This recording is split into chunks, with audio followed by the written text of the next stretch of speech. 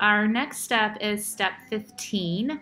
Um, and I'm just highlighting it over here to the left. It says use the rectangle tool, the pattern drafting tool, which we have used already. Um, and it tells us the measurements to make a sleeve cuff 5 by 5 by 2 inches. And then it wants us to arrange and sew it. It also wants us to make a symmetric copy before simulating. So we've done all of this already. So I want to challenge you. Can you guys do this um, without my video demonstration? I want to suggest you try it. There is one thing that's different is that when you sew it, this is the first time you'll be sewing a longer pattern piece to a shorter one. So that might throw you like, you know, a loop or whatever. Um, but anyways, try 15 by yourself. So just hit pause and give it a shot. And, anyways, the video is here for you to watch in case you um, would like to. So I'm gonna go ahead and do that. Okay. I'm going to use the rectangle tool and instead of clicking and dragging, I'm just going to click uh, one time. Click. And that way I can just type in 5.5 tab 2 inches. Say, oh, number of shape. I'm just going to say, okay, just one. Okay, I'm to, let's see here, zoom in, panning. Um, I'm to hit the letter A. So this is clearly a lot smaller, correct? Right, this cuff. Um, so to sew it together, I'm to use the free sewing tool. I'm to click here and here, and then I'm to click here and there. So I'm sewing 10 inches to just five and a half. Now I also, I'm going to uh, switch to the segment sewing tool because I do need to sew the cuff sleeve as well to itself. Okay, and then now I need to arrange the cuff on this uh, avatar. So, uh, six. Okay, I'm hitting number six. I can hit Shift F. That's a fast way to get my arrangement points. There's always the toggle menu as well. Um, my pattern is selected. So now I'm gonna go ahead and click, make sure I'm in the right tool. Okay, I'm gonna click this little blue dot. Oh, you know what? My pattern was not selected. Let me try that one time. Select my pattern, and I'll get that little. I'm going to hit 6 again. Get that blue dot. Hmm. Let me try that again. okay, there it goes. I'm to look underneath it. Let's go in on here. I'm to pan. I'm to zoom in. Um, it looks like the stitches are to go through her hand because it's just so small. So maybe what I'll do is I'll select it one more time and I'll push it down with the gizmo tool. Let's see if that kind of, it'll probably still work its way out even if I didn't do that, but just to be extra careful, I'm gonna make sure. Okay, let's see. Oh, gosh, pan over. Oh yeah, I think that looks good. Okay, so before we simulate, um, I want to select this guy, I want to right click, I want to clone it um, with sewing. And then where do I want to put it? So I was kind of realizing I should put it over here. See how it's on the shadow? And then that way it kind of pops up over here on the other side of the avatar. And then uh, probably still have to move it anyways. I think I'm just going to reselect it. There we go. Um, okay, it looks like the stitching is going through her wrist. So I'm gonna hit number two, I'm gonna pan over, I'm gonna zoom in, I'm gonna select that. Oops, oh no, I picked the anchor point. I didn't wanna, I mean the arrangement point. There we are. Yeah, I want the gizmo to come up. I think right now I'm gonna hit Shift F to get those arrangement points gone.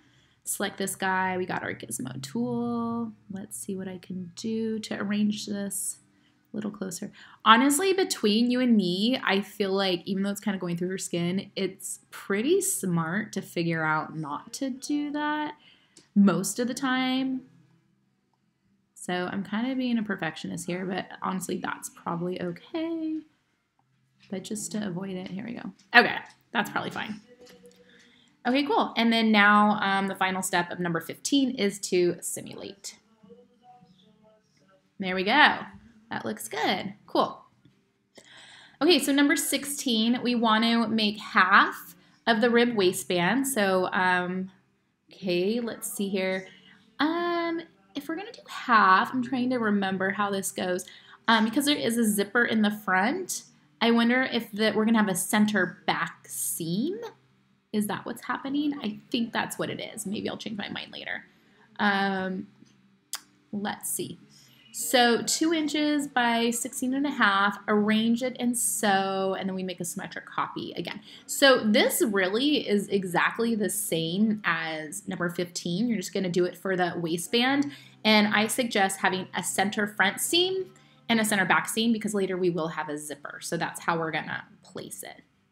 Um, okay, so again, hit pause, try to do this yourself or follow along with my video as well.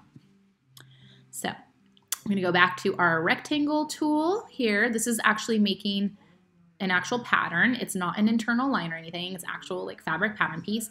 I'm going to click it, I guess where, you know what, before I do, I think I want to move my, um, my, uh, what do you call it, cuff? I'm going to zoom in.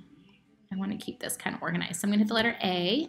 I'm going to select the cuff and I'm going to scoot it over here so that it can um, just be placed underneath the sleeve. Okay. And then I think my rectangle, I'm going to place it like underneath the back and the front. So I'm going to go back to our rectangle, keyboard shortcut S. I'm just going to click one time. Okay.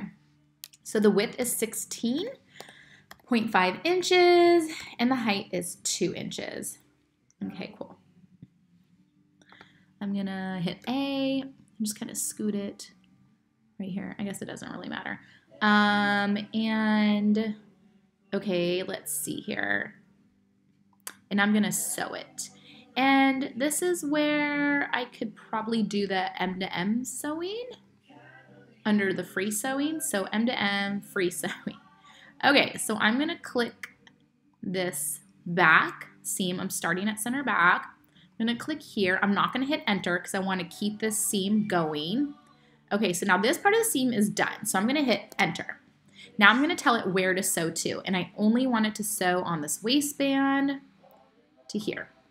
I'm gonna click, now I'm not done, I have to hit enter or return. And I just did it. Okay, cool, so there's our stitches. Um, yeah, so now we can clone this guy. I guess that will put him here, maybe. Um, okay, what's happening? Yeah, that's fine. Okay, so I'm gonna click right here on the pattern. See that blue dot? I'm trying to figure out where my center front is, and it looks like this is my center front, and this is my center front. So I can sew those two together for a center front seam, and then I could sew the other seam for the center back seam together. So I hope you're following along with how to sew the center front seam. And in this case, hitting this little picking point, this blue dot was kind of handy for me just to kind of quickly be like, are you the center front or are you the center back and you're twisted? You never know.